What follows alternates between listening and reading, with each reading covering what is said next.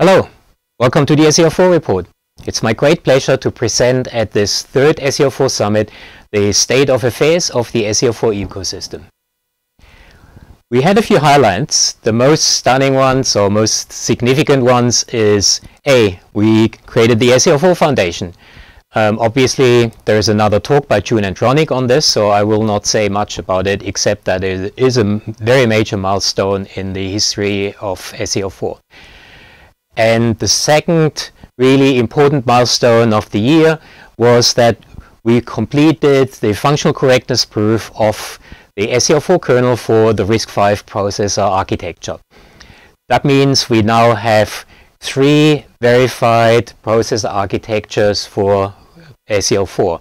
It's the 32-bit ARM architecture, the 64-bit Intel architecture, and now the 64-bit RISC-V architecture definitely a real milestone uh, with more to come. So what else happened during the year? Well, we set up an interim endorsement scheme for professional services and training, and June will cover that in her talk in, on Wednesday in more detail. Um, we released an seL4 white paper as an approachable introduction to seL4 that's sort of at the moderate technical level, understandable for someone with a reasonable computer science background without being an operating system expert. And um, that's been um, pretty much pretty well received in the community, I think. We released for the first year the video recordings of our advanced operating systems seL4 courses. In the past we had already made all the other lecture material available, all the slides and as well as the project material, but this time we uploaded the videos on YouTube. And that actually created a really big echo in the social media, much bigger than either the white paper or even the foundation announcement or the um, correct RISC-V correctness proof. So uh, I'm pretty pleased about that.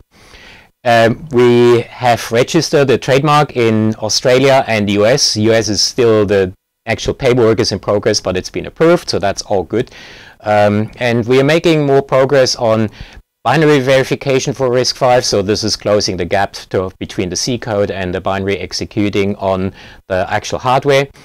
Um, we're making progress on verifying the MCS kernel. I will talk a little bit about the MCS kernel later on. Um, I hope they would be finished, the verification would be finished by now. Unfortunately, it's not quite there yet, but it's um, next few months. And we have a, a core platform specification in draft. I will, I will talk about that on Wednesday. And um, we have a device driver framework that's also uh, going to go out for public comment. Ihor has a talk on Wednesday on that one, so please um, attend this. And then we are pushing on on research. So seL4 is the defines the state of the art and we're making sure it will continue defining the state of the art and I will cover that um, our research on what we call time protection in more detail later on in this talk. And we also push on with research on secure multi-server OSs. I'm not going to cover that because it's at the stage a bit too vague. In half a year's time, I feel more comfortable talking about that. Now, just a reminder, why are we here? What is seL4? I should be preaching to the converted, but um, I just repeat it for context because I need to refer to some of this later on. So seL4 is a microkernel, an operating system microkernel, which means it's the piece, the bit of software that runs in the most privileged mode of the hardware. And um, it's a microkernel, meaning that is, this is very small. Everything else is unprivileged and runs on top as user-level processes. It is high assurance. That's the whole verification story. It is high performance. It's the world's fastest microkernel, and I'll give you some um, actual data on this. Um, it's the most comprehensively mathematically verified operating system around. And of course, the, the great thing, it's open source, uh, under published under the GPL v2 license. And why is that significant? Well, it is the best foundation to build safety or security critical systems. And this is what people have been doing for a number of years now. And this is really the reason why we're here, because the summit brings together a lot of these people who build systems on top of seL4, as well as the people who help others build systems on top of seL4. We have a um, number of deployments. Many of them we can't talk about because they're not yet ready to go public or because um, they're the kind of people who don't want to go public in any case.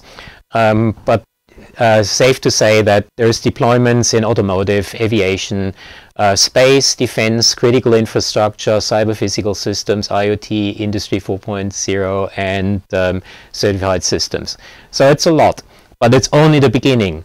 seL4 is going to grow much bigger and the foundation, which June will talk about in detail, is of course a major stepping stone for enabling this growth of the ecosystem. And because I get this a lot, I talked covered this last summit already, but not everyone was here, so I'll repeat it here. There's a lot of confusion about what the licensing conditions are. seL4 is open source and it's open source under the GPL v2 license. It's the exact licensing conditions that are used for the Linux kernel as well. But there are significant practical differences here because seL4 is a microkernel. So what you have in seL4 is the kernel itself, which is the thing that is verified and which is distributed by the seL4 Foundation in source form with the, with the proofs. And this microkernel is under GPLv2, as are the proofs. And besides that, there's also the open ecosystem of system services. So um, various libraries, device drivers, network stacks, language support environments, etc. And as far as they come from us, that is the Trustworthy Systems Group in Sydney, these are generally under the BSD license, so a very liberal license. Okay, now what does this mean? People, many people are afraid about GPL infection. They don't want their be forced to GPL their valuable IP. And there's really no reason to be concerned in the case of seL4 because it's only the kernel and you don't normally modify the kernel. And you should not, because if you modify, it's no longer seL4 and you're not allowed to call it seL4. The only valid reason to modify the kernel is if you do a platform port. And there's a very little code, typically a few hundred lines that need to be adapted for porting the platform. So typically there is a timer driver which is actually only used for debugging so you you don't actually have to distribute that because it's not used in the production binary. Uh, sorry the, the serial driver is not used in the production binary only for debugging. Obviously the kernel needs a timer driver. Um, it typically needs a driver for an interrupt controller which is didn't explicitly list that here and then some platform initialization code this, this is stuff that's part of the kernel and therefore you need to relicense it under GPL v2. Um, but that's very little. The what you really typically care about is your application code, which runs in user mode, um, as application code does. But also you may contribute or produce your own system services. You may have your own device drivers, or you probably will have your own device drivers because um, all seL4 provides directly is a timer driver, which doesn't go very far. So in general, for your platform, you need to have other device drivers, and you may or may not want to open source them. seL4 does not force you to open source them at all. They can be under any um, license. Same if you have your own file system, your network stacks, etc. The GPL does not apply to those. You can license those in, under any license you wish. And of course, these system services together with your application code, they are what is their invaluable IP. The stuff you need to do to um, add in the kernel for a platform port is just boring boilerplate stuff. There's no value in there. There's only a cost. And this is the thing that GPL forces you to open source. So it's in, in terms of IP value, potential loss of IP value, it's a non-issue. Compare that to Linux. Linux has all the system services in the kernel. So the GPL kernel.org source has all your device drivers and your network stacks and file systems and what have you. And in, on top of that, you have your application code. And of course, as in any operating system, your application code has no licensing restriction, can be anything. But if you do anything to system services in a Linux uh, system, add new device drivers, add new um, file systems, etc. That's part of the kernel and you have to GPL that. This is a big difference to seL4 where you can keep that under any license including proprietary. And in your platform port, you have a lot of device drivers, etc., that you need to get the platform running. Again, this could be valuable or not. Um, in Linux, they're the kernel, and you are forced to open source them under GPL. So in terms of the IP which you need to open source in the Linux world, there's a fair bit. In seL4, there's only the boring boilerplate stuff. So really, no reason to be afraid of the of the GPL. Right. So now getting back to what seL4 is. Of course, the real, the number one defining thing, the what makes seL4 unique is its proof story. It has a set of proofs that go all the way from high-level safety and security requirements down to the binary that runs on the silicon.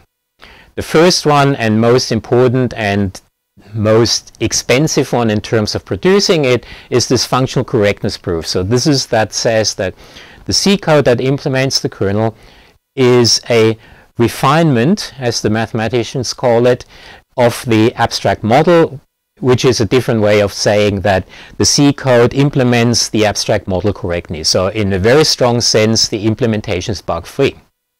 And this is what we originally, 11 years ago, did for 32-bit ARM processors.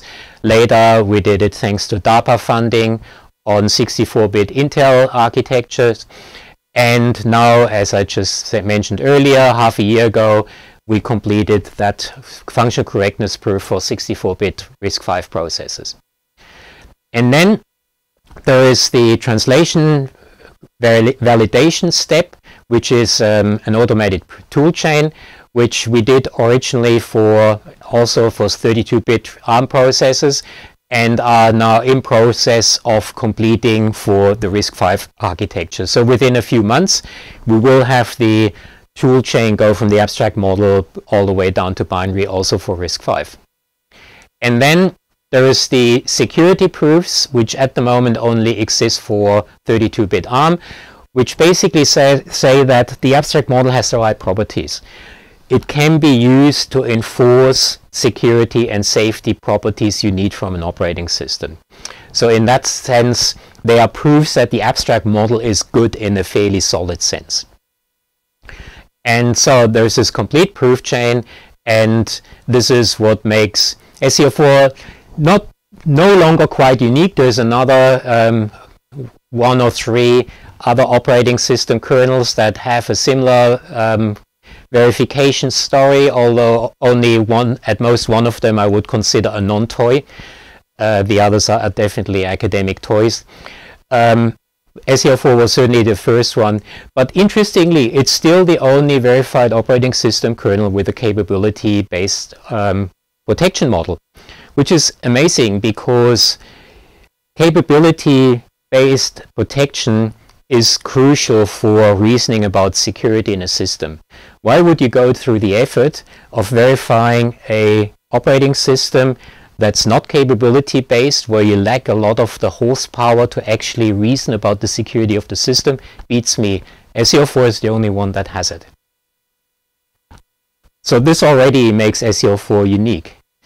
But then, the other thing that's also unique is it performs way better than any other comparable system, verified or not. And this is not just, no longer just my claim. I always knew it, and I had I had hard information about this, but I couldn't actually talk about it because a lot of that was under ND obtained under NDA. But recently, some colleagues of mine in the operating system community have actually done some comparable um, comparative evaluations of performance, which um, I'm very grateful to them. I didn't ask them to do it. They did this on their own. Of course, not just to be nice to us and seL4. They had their own reasons for doing it. But it is an independent evaluation of performance. They only evaluated against open source kernels there because that's what they needed to do the work. Um, so the, the ones they compared it against is Fiasco, which is another L4 kernel uh, from Germany, and Zircon, which is the new um, Google microkernel. And the numbers here are latencies in cycles of IPC round trip operations cross address spaces. So this is a smaller is better, much better. And you can see that seL4 is about a factor of two or three faster than Fiasco and about almost a factor of 10 faster than Zircon. And there's one interesting story. So the, the first two lines are from two papers, one published this year, the other last year.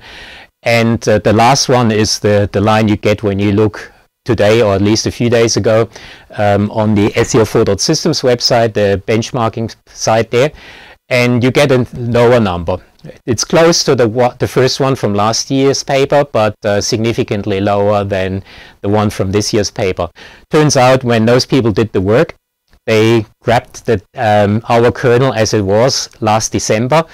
And as we reconstructed later, looking at these data, we had a temporary performance regression in December last year, which took about a month or two to get noticed. Um, obviously, there is something wrong with our regression testing. We test for functional regressions, but we don't systematically test for performance regressions. So this one slipped through for a while, and they happened to take the kernel right at that time.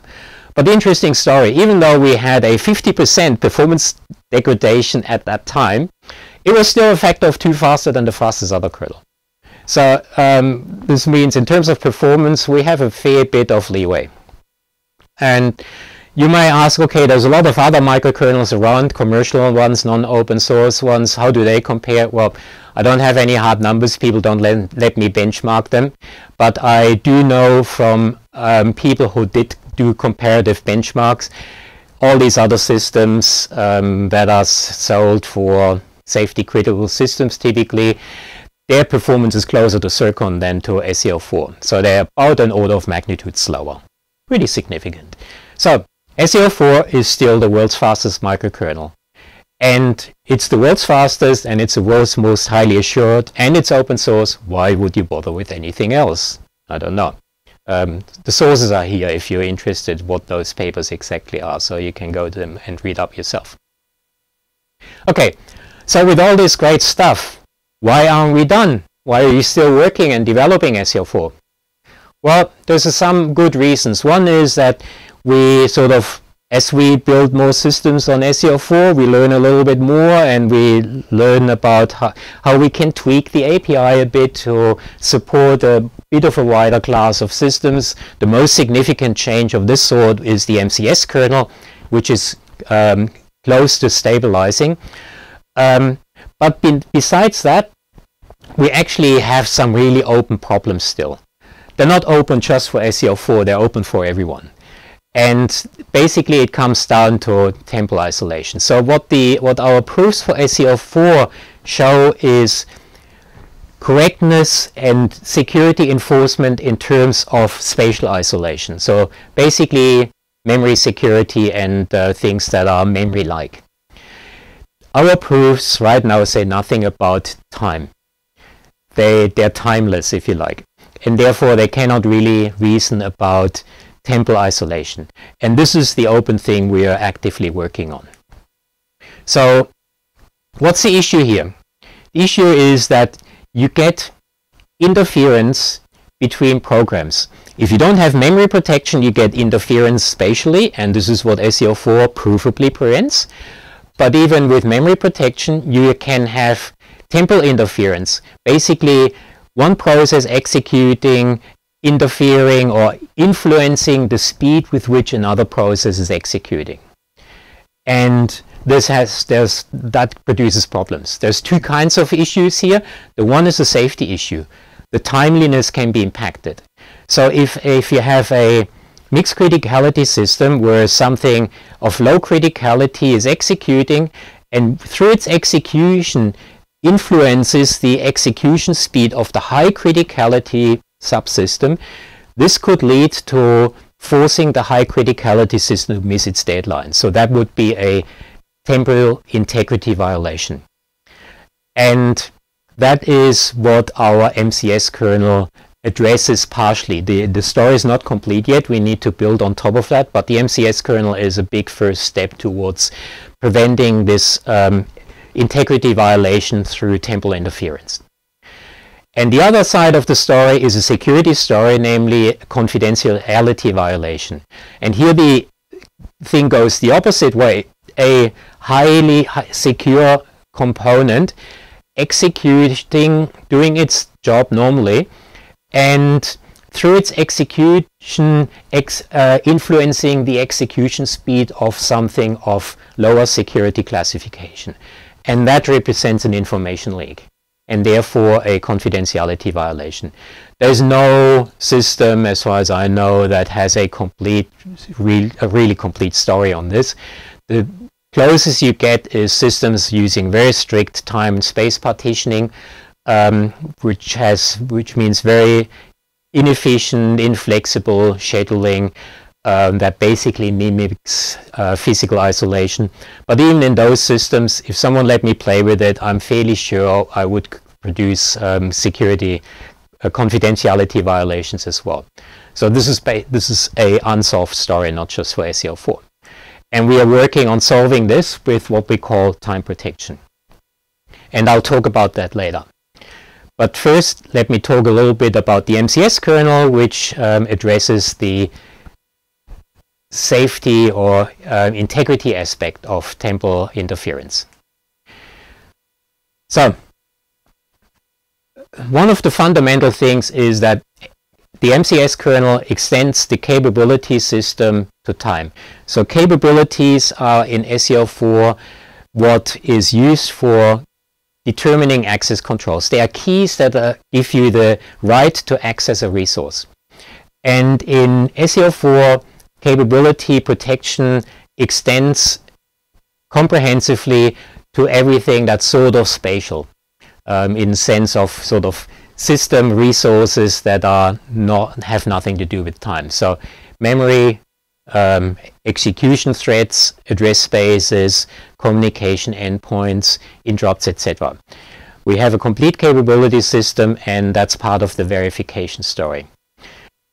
What the MCS model does is extend that capability protection to time. And um, it does that by introducing a notion of scheduling objects. It is one of the first um, systems that is real-time, hard real-time capable that uses capabilities for time protection. There's been um, capability models for time before, going back to um, two, three decades in some cases, but they were generally not geared towards hard real-time systems, which is what we aim to support in seL4. The only other system with um, capabilities that is designed for hard, supporting hard real-time is the composite system from Washington University. And I realize we have a talk by Gabe Parmer there. Um, so this is his system. He beat us by about a few months, basically one conference earlier. Um, but it, it's concurrent work. And um, I realize Gabe's talk is actually about a critique of the uh, MCS kernel, which I know there is warts there, which we are work, working on resolving, and that is work in progress.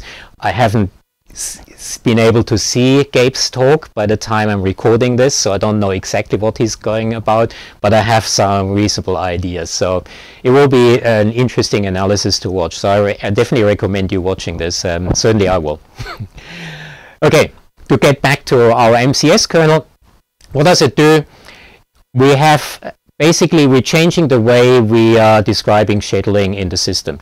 The old L4 seL4 kernel, like other L4 kernels before, had two scheduling attributes, a priority and a time slice. And we replacing the time slice by a more, if you like, a generalization of time slices called a scheduling context. And so every thread now, instead of a time slice, has a capability to a scheduling context. And a scheduling context is a first-class object that encapsulates the right to access CPU time. So other capabilities provide the right to access, say, memory or devices, etc. These um, scheduling contexts, they provide access to CPU time. And what a scheduling context is basically there's a few other attributes, but the two core ones is a period and a budget. And what it says is that over any time that is less than or equal to the period, the thread may no more, they may consume no more than its budget in CPU time. So this limits the CPU bandwidth. And so what you can do is you can give different processes, different scheduling contexts. For example, here we have a, at the left, a scheduling context that has a period of three time units and a um, budget of two, so it is allowed to consume up to two-thirds of CPU time at a fairly rapid rate. And then we have another one which um, has a period of a thousand time units and a um, uh, budget of 250. So this is allowed to consume up to 25% of CPU time. And in typical rate monotonic scheduling, you would give the um, one with a shorter period a higher priority than the one with a longer period. And this can represent, for example, in a um, autonomous system, the, the, the lower rate with a long period is the control loop, which runs at basically human time scales. And the higher rate could be something like networking, which needs to respond very rapidly. The cool thing here is, even though the lower rate uh, process might be the more critical one that needs to, uh, under all circumstances, meet its deadline, you can allow it to be preempted by something of higher priority, but your, the scheduling context ensures that it doesn't consume more than a certain amount of CPU time and leaves over enough to run the critical bit to its deadline. And in this case, that would be possible. So in, if these were the only two processes in the system, we can guarantee that both will always be able to run to their full budget. But you can't overrun. In particular, if this high priority thing is untrusted because it's a complex device driver, doesn't matter. The system will stop it from consuming more than its budget. All right, and so we ensure that there is enough time available for lower priority threads. And um, one of the cool things that this model allows is what we it's a principal way to do time donation. We had time slice donation earlier, seL4 kernels, it was fairly unprincipled. This does it in a principled way. So if there is a server that's shared between different clients, they can be at different criticality. Um, then when the one client invokes the server, it passes along its scheduling context to the server. And the server now runs on the client scheduling context. And so the time the server uses is charged against the client. And um, that ensures correct accounting of time in the system and allows us to have this uh, support this mixed criticality system. It's a relatively simple concept, but it's very powerful. And so this was published two years ago. So in summary, the MCS kernel, it fixes up a lot of other things. It enables us to do mixed criticality systems, but it actually solves a lot of problems that were ongoing with seL4. And so even now, before it's um, quite finished verification, please, please use it for any new work. Don't use the legacy system. Um, you just it forces you into workarounds which you don't need to do in the MCS kernel. So this is the, the future of seL4. Use it. Um, verification, as I said, is getting close. Uh, I was really hoping we would be done by now, but we are not quite. Um, so we need to wait a few more months, but uh, it will happen really soon. Okay, now back to temporal isolation. This was the integrity aspect, which is important for safety of real-time system. And now the confidentiality aspect, which is the, the security aspect for secure systems um, which as said we address by what we call time protection. So let's look at what time protection means. So in order to understand that, we need to understand the source for this interference. And this temporal interference where the execution of one process affects the execution speed of another process is in the end a result of competition for shared hardware resources. So both use the same hardware resources, in particular caches, and therefore they interfere. So by the, if the highly secure process is executing, it uses the cache, it generates a certain cache footprint, and the low, um, when then the low uh, security process is executing, um, tries to access the cache, establish its cache footprint, and sometimes it will find locations that it's still in the cache from its last execution, sometimes not. So the residency of its data in the cache is affected by the execution of the other process, and this is where we have an information leak. So it's an inter-process interference from microarchitectural features. Microarchitectures because they're not defined in the instruction set architecture. They're hidden from the abstraction provided by the hardware-software contract. And this is what makes them difficult. And so the Spectre and Meltdown attacks, they are all consequences of this kind of uh, resources. So if we can eliminate this kind of resource contention, then, for example, Spectre becomes impossible. But the problem is that the resources that are the source of these effects are hidden by the hardware-software contract. And I'll come back to that. That's a real problem. Um, so our solution is what we call time protection. We call it time protection because it's the temporal equivalent of memory protection. Memory protection is for spatial resources. Time protection is for temporal resources, which is CPU time. Um, and because the interference results from sharing, time protection prevents the interference by preventing sharing. What does that mean? So you have these two processes, they share this common microarchitectural hardware feature, some form of a cache, and we stop the um, interference by partitioning the hardware state. And there's two ways to do it. We can either do spatial partitioning, um, and I'll tell you in a second how that works, and that works for some kind of caches, and um, it doesn't work for typically for on-core resources. So these are the L1 caches, the TLB, the branch predictors, and prefetches, etc. Because they typically the hardware doesn't really provide the means to partition them in the first place, and because they're indexed by virtual address, which is outside the OS control. The alternative you need to use for these kind of resources is um, temporal partition, also known as multiplexing. So we do secure multiplexing of these partitions and the security means we have to reset their state to a defined state whenever we hand them from one partition to another. So on a context switch or switch of security partition, we need to reset all these shared hardware support, uh, resources which we temporarily partition. And that's fine for some resources, but again, it doesn't work for all of them.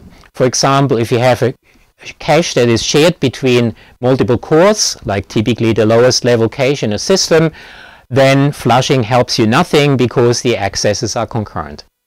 The bottom line is we need both. So time protection needs to provide both spatial as well as temporal partitioning. Okay, how does spatial partitioning work? Some hardware, some processors have specific hardware support for that, but all of them have a in-specific, if you like, hardware support, which is associative caches. Because of the way lookup of data works in a cache, using what's called an associative lookup, um, that basically means when looking for something in the cache, its address is used to map to a certain region of the cache. And that means that certain data can only live in certain regions of the cache. And these cache regions basically can be mapped onto memory and they're called cache colors. So a certain pages can only live in the yellow part of the cache. Well, that means implicitly we all the pages that can live in the yellow part are the yellow pages in the system and uh, the other section is the blue part of the cache, so it maps to all the blue pages in the system, etc. So this is what's called uh, page coloring. And if we color our processes, so the high process gets only red colored pages, the blue process only gets only blue colored pages, and it's really frames, physical memory I'm talking about here.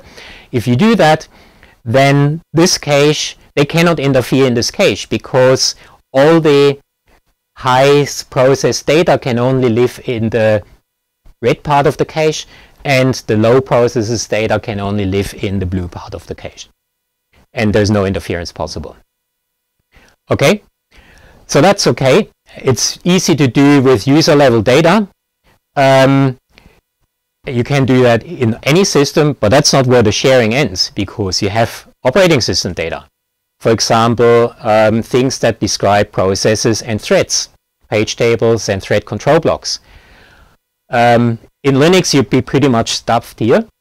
In seL4, no problem, mate, because in seL4, all these things are under user level control. The data, the kernel doesn't allocate its own data after its own data structures after it booted up.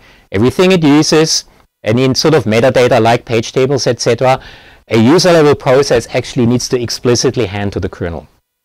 And that means by starting off the system with all user land partitioned uh, by colors, the kernel data structures implicitly get partitioned as well. You don't need to do any changes to the kernel, you can just do that. Wow. Don't tr try to do that in Linux. You won't.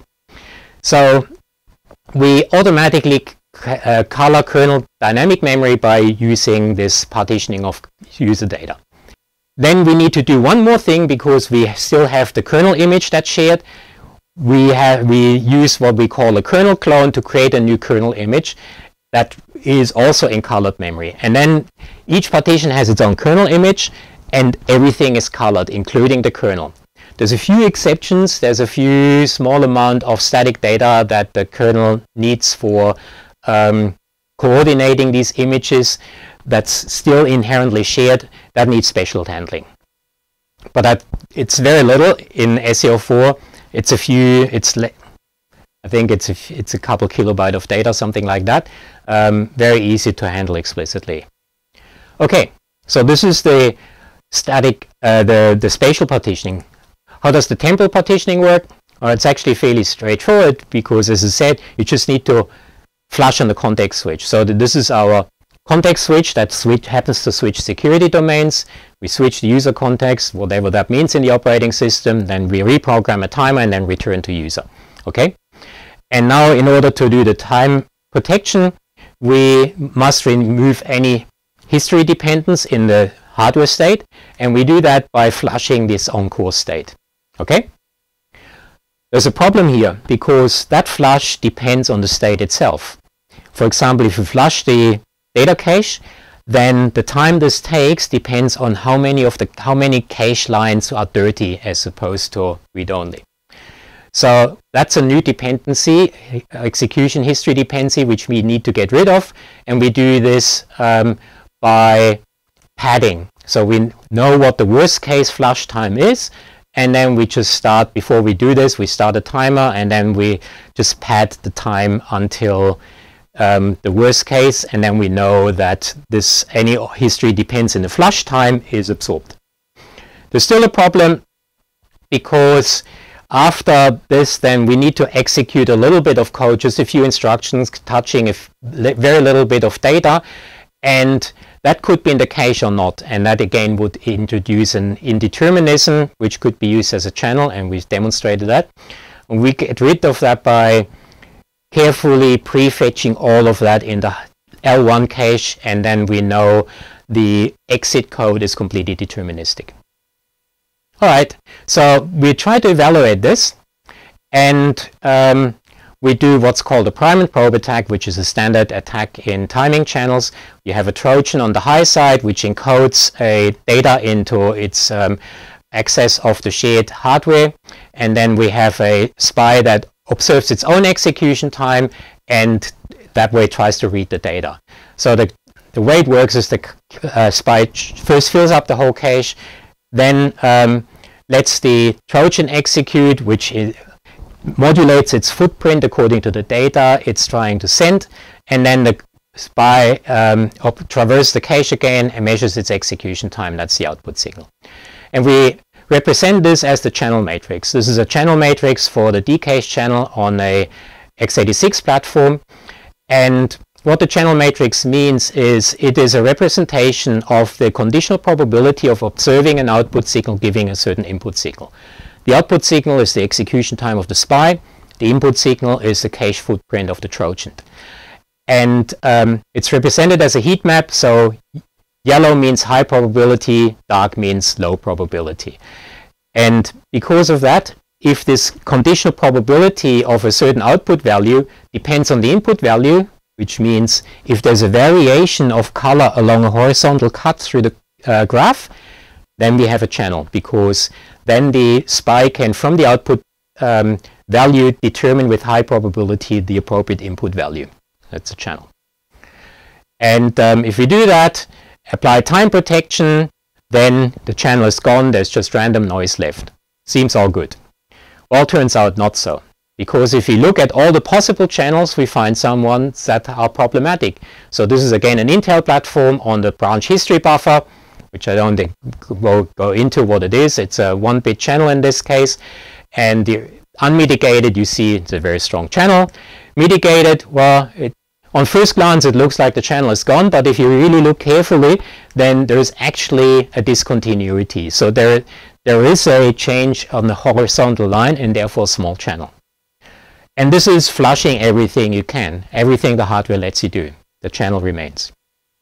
This is not just an issue with Intel. We do the same thing on an ARM platform, again the branch history buffer, and you can see in this case actually a much bigger channel than on the Intel case. We did a systematic study of this and found, well, um, there's channels remnant channels on every architect on every processor we looked at. So it's a general problem. So what do we do? Give up? Well, we get RISC-V to the rescue. So RISC-V is awesome. It's a great match to an open source kernel. It's an open source, it's an open architecture with open source implementations. For example, the ETH processor from uh, uh the Ariane processor from ETH Zurich. And we took that one and implemented, we extended the hardware software contract by saying there's an operation that guarantees you there's no shared state left that has a non-fixed value. And using that, we can, again, here's a, the BHB channel on the Ariane, we can completely get rid of the channel. The little patterns you see here, they're random. If you run the same experiment again, they're in different places. So there's definitely no channel. Awesome. And um, we did that, we did a complete study and found, yes, this actually works. We get, get rid of all the channels. And I'm very actively working in getting this specified for the RISC-V architecture. There's the right way to do, time to do it. They're just talking about cache management operations, and there's a lot of support. So this will get into the RISC-V architecture, and then we will have a conformant architecture that allows us to completely eliminate these timing channels. Okay, but this is seL4. Just eliminating them, is that good enough? You want to have proof, right? Because we prove things in seL4. How can we prove this? What does it mean to prove time protection? Well, it means that assuming we have hardware that that um, observes a suitable contract, and we have a correct formal specification of this hardware, can we then prove that there's no channels left? And I think we can.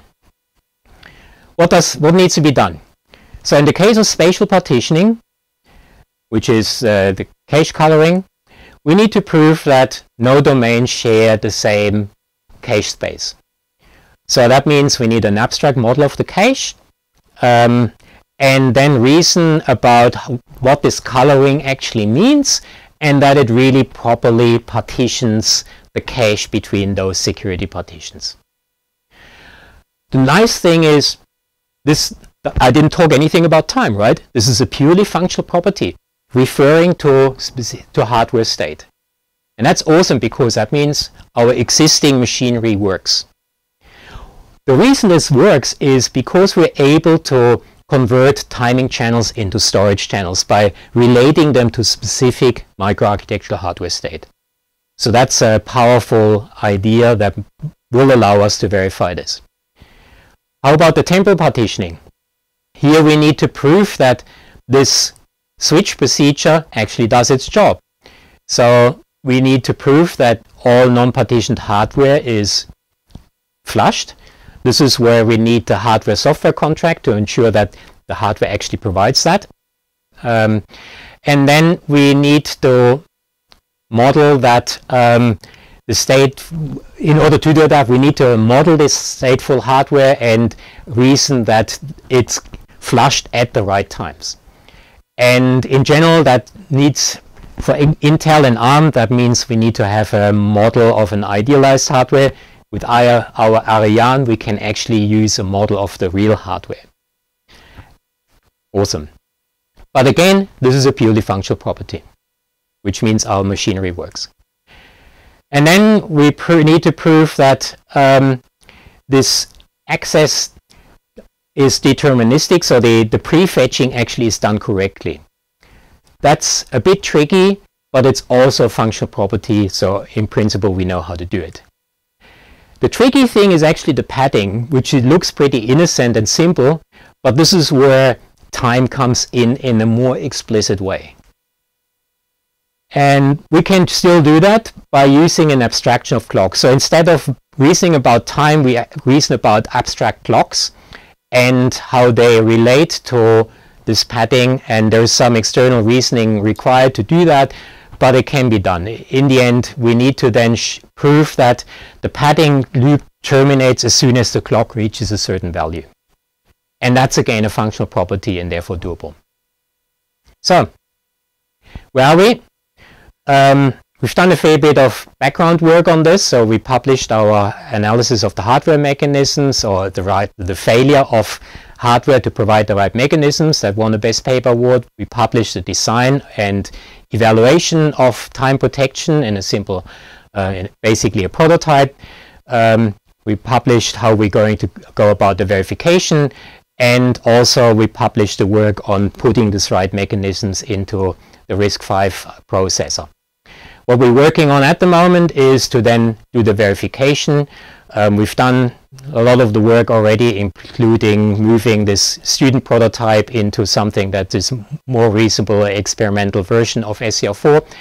And um, we need to still work on the system model and we work on the verification, but we've done a lot of the groundwork for that already. We've already done confidentiality proofs for flushing on very simplified hardware models.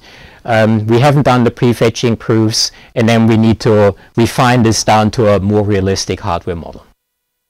And I guess within a couple of years we will be there and we'll have a proof that on a conforming processor, seL4 prevents timing channels completely. And with that, I'm finishing and I'm happy to take questions.